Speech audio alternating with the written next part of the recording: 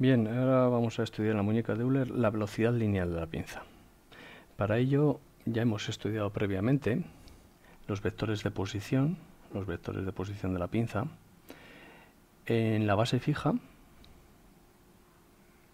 y en las tres bases móviles, 1, 2, 3, que tenemos ahí. El único parámetro de distancia que conocemos es la distancia que hay en concreto entre los orígenes de las tres articulaciones que coinciden, es decir, sistema de referencia 0 y 2 coinciden con 1, por lo tanto la distancia entre los tres sistemas de referencia hasta el extremo de la pinza punto P es esta distancia.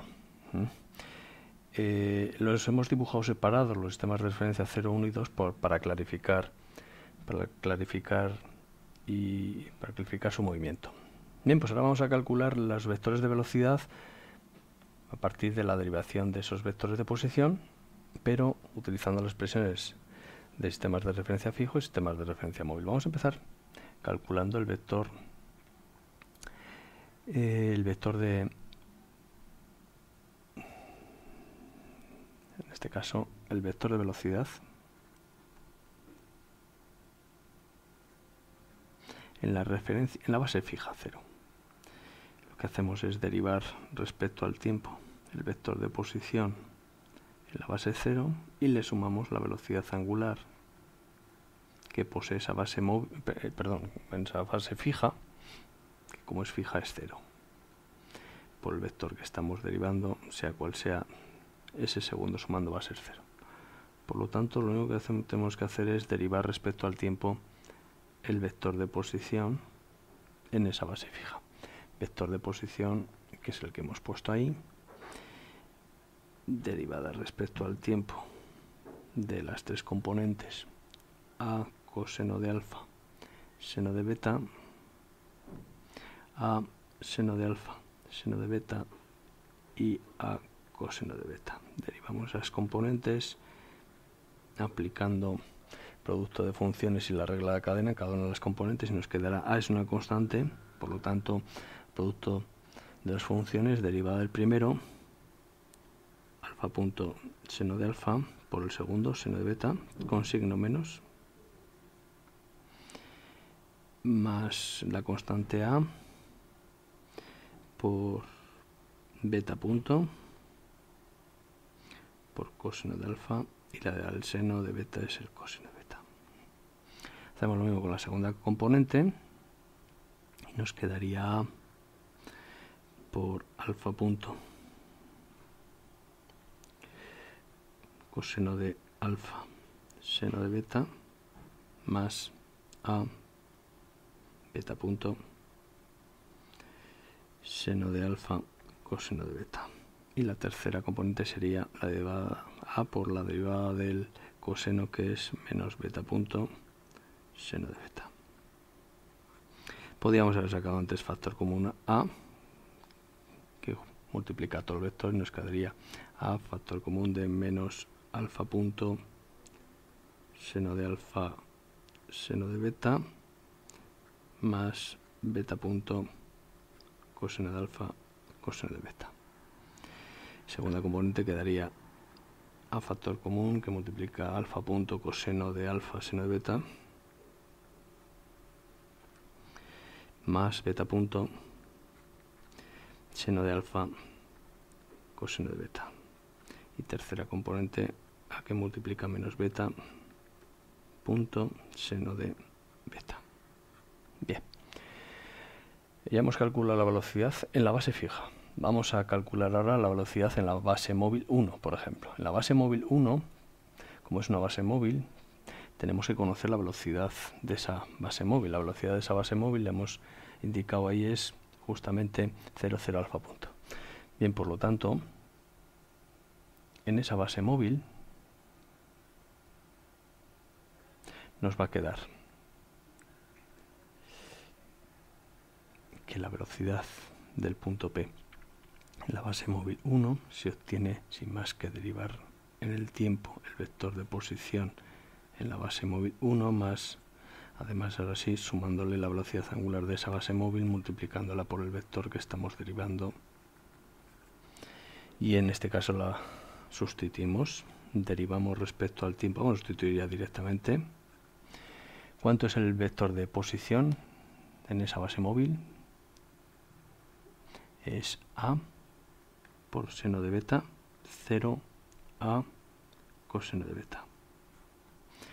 Y ahora tenemos que calcular, sumar el, sumar en este caso el producto vectorial de estos dos vectores. El primer vector es la velocidad angular de la base móvil, 0, 0 alfa punto, producto vectorial por el vector que estamos derivando que es a seno de beta, 0 a coseno de beta.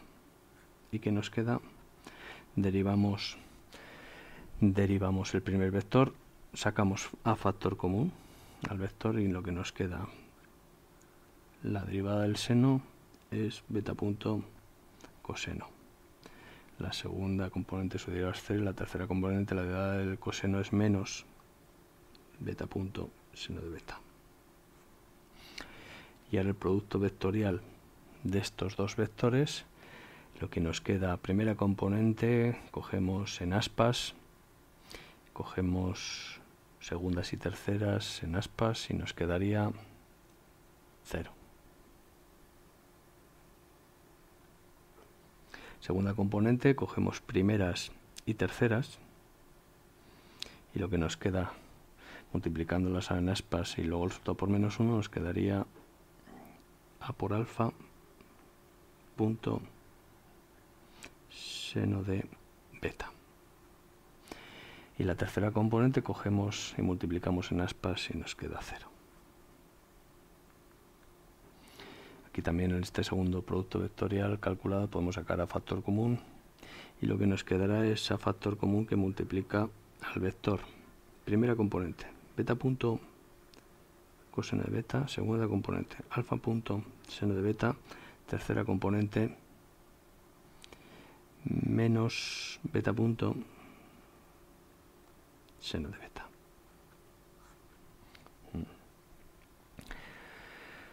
Eh, estos dos resultados obtenidos anteriormente deben, deben cumplir la expresión que ya hemos visto anteriormente.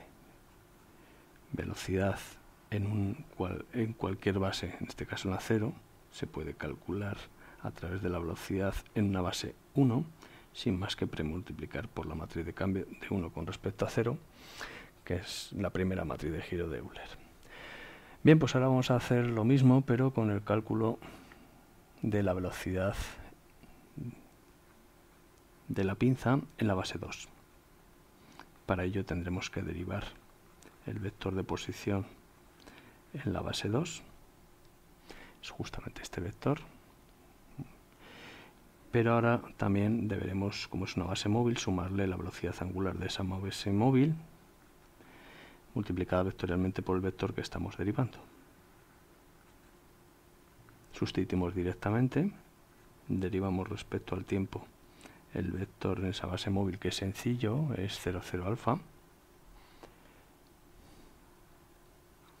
y le sumamos vectorialmente velocidad angular de esa base móvil.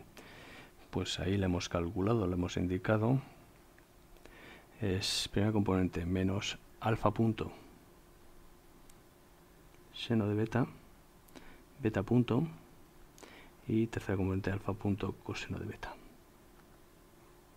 multiplicada vectorialmente por el vector que estamos derivando que es 0, 0 alfa y lo que nos queda es derivada de 0, 0 alfa pues será 0, 0 alfa punto. Y ahora el producto vectorial. Producto vectorial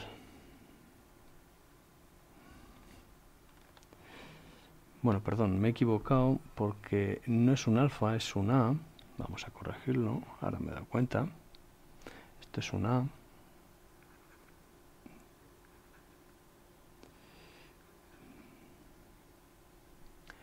Esto es una a por lo tanto.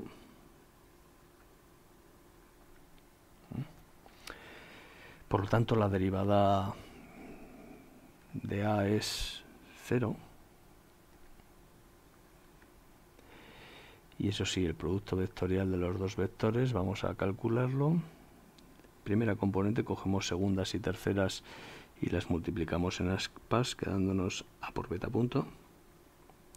La segunda componente nos quedaría coger primeras y terceras y en aspas y multiplicarlas por menos 1 por lo tanto nos quedaría a alfa punto seno de beta terceras componentes es coger primeras y segundas y multiplicarlas en aspas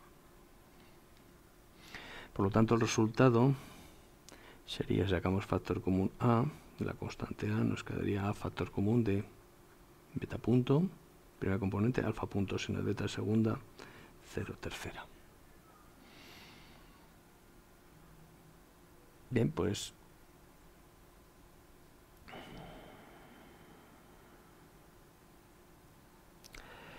eh, también se debería cumplir, vamos a poner la expresión, la expresión que nos relaciona, por ejemplo, este resultado con el resultado anterior, se debería cumplir, lo dejo como ejercicio, es que la velocidad de la pinza en, en 1, por ejemplo, si conocemos la velocidad de la pinza en 2 se puede también justificar el resultado sin más que premultiplicar por la matriz de cambio de 2 con respecto a 1, que es la segunda matriz de cambio de orientación de Euler. Y también podríamos verificar que la velocidad de la pinza en la base fija, si conocemos la velocidad de la pinza en la base 2, se puede obtener también premultiplicando por la matriz de cambio de 2 con respecto a 0, que dependía de los dos primeros ángulos de Euler, alfa beta. Bien, eso se deja como ejercicio para justificar los anteriores y verificar que se ha realizado correctamente las operaciones. Y por último, vamos ya a obtener la velocidad en la referencia 3. La velocidad en la referencia 3. La velocidad de la pinza en la referencia 3 si obtiene sin más que derivar en el tiempo la posición en la referencia 3 y sumarle la velocidad en este caso de la base móvil 3 porque es una base móvil, la referencia 3 multiplicado por el vector que estamos derivando. Derivamos el vector, el vector está aquí arriba, es 0, 0a, es un vector constante, sencillo, por lo tanto su derivada va a ser nula y lo que tendremos ahora es que sumarle además el producto vectorial de la base de la base móvil que es la base móvil 3 vamos a copiar cortar y pegar este resultado.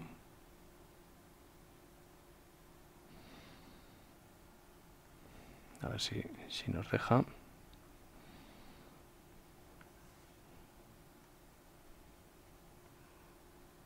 Este resultado sigo operando por el vector por el vector que estamos derivando que es un vector 0, 0a la derivada esto es 0 un vector nulo y lo que vamos a calcular es directamente el producto vectorial de esos dos vectores. Primeras componentes, pues cogemos segundas y terceras y las multiplicamos en aspas, quedándonos a que multiplica a alfa punto, seno de beta, seno de gamma, más beta punto por coseno de gamma. Segundas componentes, segunda componente cogemos primeras y terceras y las multiplicamos en aspas y con signo negativo. Por lo tanto, menos a que multiplica a. Estamos calculando segundas, por lo tanto, primeras. Vamos a repasar el cálculo de la primera componente, era coger segundas y terceras. Bien, y ahora Está bien, estaba repasándolo. Y ahora vamos a calcular la segunda componente. Cogemos primeras y segun, primeras y terceras. Ahí estaba equivocándome. Primeras y terceras. Mentalmente lo estaba haciendo mal. Y multiplicamos en este caso en aspas, quedándonos mm, primeras y terceras. Quedándome A por menos alfa punto seno de beta coseno de gamma más beta punto seno de gamma. Y en este caso con signo negativo, por lo tanto este signo estaba bien puesto. Y la tercera componente es coger primeras y segundas y multiplicarlas en aspas. Lo que nos queda es cero. Podemos ver que en este caso vuelvo a escribir el resultado sacando factor común A. Lo que nos queda es factor común de alfa punto seno de beta seno de gamma más beta punto coseno de gamma.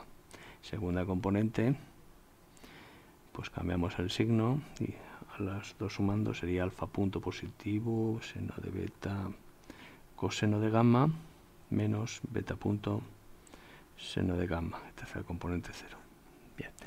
De igual forma, vamos a, dejo como ejercicio comprobar que, por ejemplo, existe una relación de la velocidad de P en la referencia en la base fija. Si conocemos este resultado en la base móvil, sin más que premultiplicar por la matriz de cambio global de la muñeca de Euler, o bien también si conocemos la velocidad en la base 2 móvil, premultiplicando por la matriz de cambio de 2 con respecto a 0, que dependía de las dos primeras articulaciones, o bien si conocemos la velocidad en la base móvil primera, premultiplicando única y exclusivamente por la matriz de transformación de Euler, la primera, giro en torno al eje z de un ángulo alfa.